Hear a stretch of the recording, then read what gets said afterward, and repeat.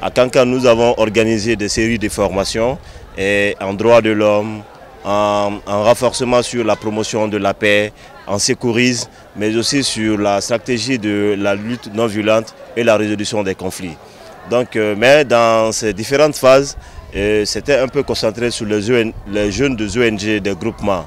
Et en deuxième position aussi, les jeunes dans les grains autour du thé. Mais cette fois-ci, nous avons jugé nécessaire d'intégrer les écoles dans notre programme. C'est pourquoi euh, cette intégration s'est dénontée par la mise en place de clubs de paix dans les grandes écoles de Cancan, notamment le lycée Morfinia Diabaté, le lycée 3 avril, le lycée Mariam Gwabi, euh, le lycée privé de MS et le lycée privé Lac Le Donc euh, dans le premier programme, c'est la mise en place des clubs de paix dans ces grandes écoles. Donc euh, ces clubs de paix vont bénéficier des orientations de comment fonctionnent nos structures et des notions aussi de droits de l'homme, de notions en renforcement du tissu social qu'ils pourront élargir un peu cette communication au niveau de leurs écoles.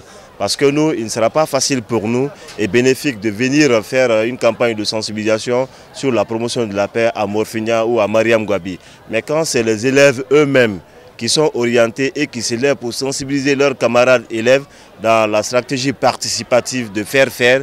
Donc euh, je pense qu'ils seront mieux écoutés que nous.